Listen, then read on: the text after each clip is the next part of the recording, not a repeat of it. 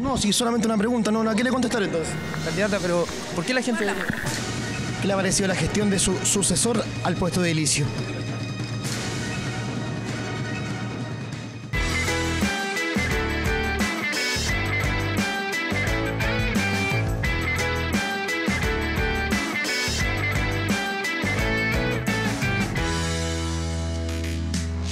Estamos desde el colegio Ramón Belmar esperando a la candidata Jimena Rincón. Tenía que llegar a las 9 de la mañana, son las 9 y cuarto, así que mientras la esperamos, vamos a ejercitarnos un poco para precalentar este día de elecciones. Aquí acaba de llegar Mario Mesa con Juan Castro, ahí están con nuestro administrador municipal.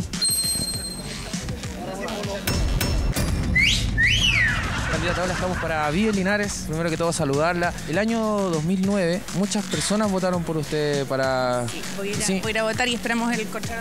Candidata, candidata, pero ¿por qué la gente.? Bueno, la candidata, después de que ella emita su sufragio, va a conversar con nosotros. Esperemos que sea así.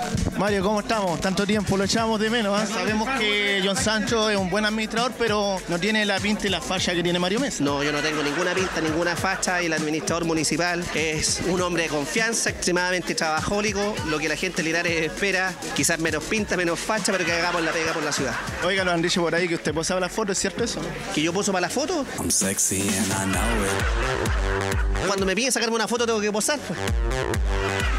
Llevamos ya un año ya de su, su nominación para alcalde. Contemos un poquito, lo bueno, lo malo. Lo bueno, lo malo y lo feo. Partamos por lo más difícil. Lo feo, haberse caído. El cuestionamiento respecto de algunos, algunas contrataciones, uno tiene que asumirlas como corresponde. Y lo bueno lo debe decir la ciudadanía. Yo en esto siempre he dicho la cara para la foto y el pecho para las balas. Vamos a hacer cambios antes de finalizar el año que van a ser súper impopulares. Uno pudo tomar una radiografía en un año de cómo trabaja la gente. Y bueno, las prioridades están en la calle, están en la ciudad. Viene saliendo Jimena Rincón en este momento de emitir el sufragio. Vamos a ver si va a darnos declaraciones porque nos hizo una gambeta. ¿Cuál como Alexis Sánchez va a emitir sus sufragios? Creemos que votó por ella misma, le vamos a preguntar. Porque, uh, un dato anecdótico, una vez un candidato a concejal el año pasado Linares no sacó ningún voto, ni él votó por él mismo. Candidata, candidata, candidata, Candidata, candidata, usted sabe que la gente vota por personas más que por proyectos políticos. ¿Por qué la gente debería votar por usted nuevamente, siendo que la- cuando tuvo la posibilidad usted abandonó la región? Yo no he abandonado nunca la región, me parece una pregunta absolutamente improcedente porque yo seguí trabajando por la región, en la región. A la presidenta de la República al presidente no se le dice que no, menos cuando la invitación es a que pudiéramos crear un CFT en Linares, a que tuviéramos hospital, que por fin va a ser realidad. Usted comentó que nunca iba a abandonar la región, pero cuando fue ministra del Trabajo, la tasa de desempleo en Linares sí fue una de las mayores a nivel regional. gobierno anterior y puedes verlo en los datos. Nunca superamos los dos dígitos, por lo tanto también estás mal informado.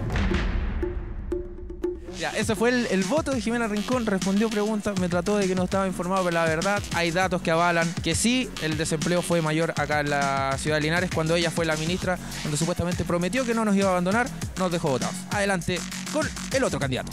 Jaime, hablando de resultados, bueno, en la última elección que usted participó, tuvo una derrota con la candidata Jimena Rincón, la cual abandonó sus deberes. Yo no he abandonado nunca la región. Se supo que usted también no estuvo en la ciudad de Linares, estuvo trabajando afuera, por en Santiago, por lo que tuvimos entendido. Mire, eh, yo siempre he vivido en Linares, primera cosa.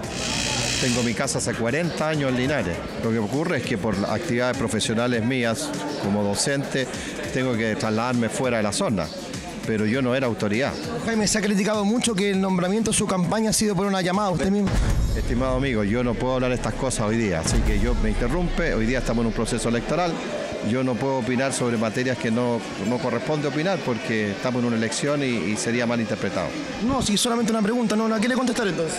No, no es que no se la quiera, sino que no es prudente que en, en un evento electoral estemos abordando esa materia. Permiso. Bueno, vemos que el candidato Jaime Naranjo no quiso contestar las preguntas de Linares y entendemos el malestar de la gente en realidad con el candidato. ¿Cómo vio sus meses después de ser alcalde de Linares?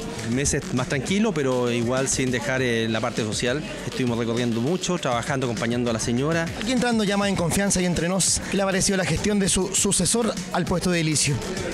Bueno, la verdad es que prefiero no opinar de eso. Yo ah, hubo gente que, que confió mucho en él y esa es la gente que, que tiene que preguntarle. Yo al menos no voté por él, yo voté por Fresia ya en su momento, entonces que no soy quien como para hoy día empezar a criticar. Rolando, cambiando nuevamente de tema, se le acusó en su tiempo de notable abandono de deberes. Esa acusación no quedó en nada, lo que permitió a usted que pudiera hacer su campaña tranquilamente de diputado. ¿Cree que usted que fue una estrategia política o algo por el estilo que esto dio a pie para esta acusación? Yo creo que aquí abiertamente ha sido una persecución política. Tienes que pensar de que muchos de los que estuvieron en el, en el Consejo Municipal de ahora fueron también personas que votaron en el Consejo Municipal anterior. Es decir, que arroje la primera piedra el que no es culpable de nada. Aquí, aquí cuando se tomó una decisión, se tomó una decisión por la voluntad de poder llevar a gente que jamás había tenido la oportunidad de estar en un, en un, en un mundial.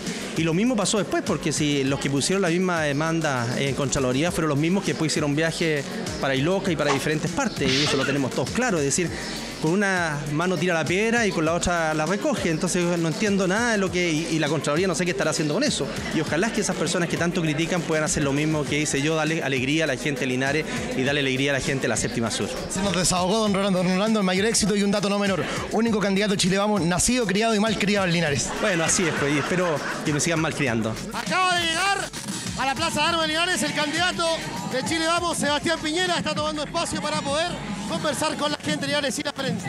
Muchas gracias. ¿Cómo estamos, Linares? Don Guillermo, un tiempito para un medio no tan importante. Usted no quiere entrevistar, por eso. Y que estamos preparando los equipos. Don Guillermo, me veo la necesidad de preguntarle por el tema a Carlos Gajardo. Sabemos que ese tema lo ve la mesa central, pero últimamente Carlos Gajardo ha tenido bastante apoyo de dirigentes, de candidatos inclusive y de la ciudadanía. ¿Pero cree que eso afecte en las votaciones tanto de usted como de Tarut? Para nada.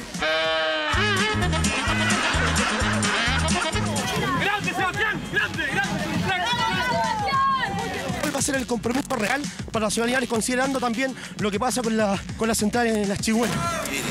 Vamos a proteger el medio ambiente, porque nos pertenece a todos y a nuestros hijos y a nuestros nietos. Y mi compromiso con Linares, apoyar a la agricultura, porque esta es una tierra agrícola. ¿Reconoce que fue un error haber aprobado la central en las chihuahuas? ¿Por qué me pregunta eso usted a mí? No tendría cara de mirar a los linarenses diciéndoles que estoy ahora a favor del proyecto porque el presidente Piñera, quien quiero que asuma eh, en marzo del año 2018, me obligó a tomar una postura distinta. Si tengo que guardar distancia respecto del gobierno el día de mañana por una profunda convicción de mi ciudad, lo voy a hacer sin ninguna presión alguna. Y por una razón muy simple, ¿eh?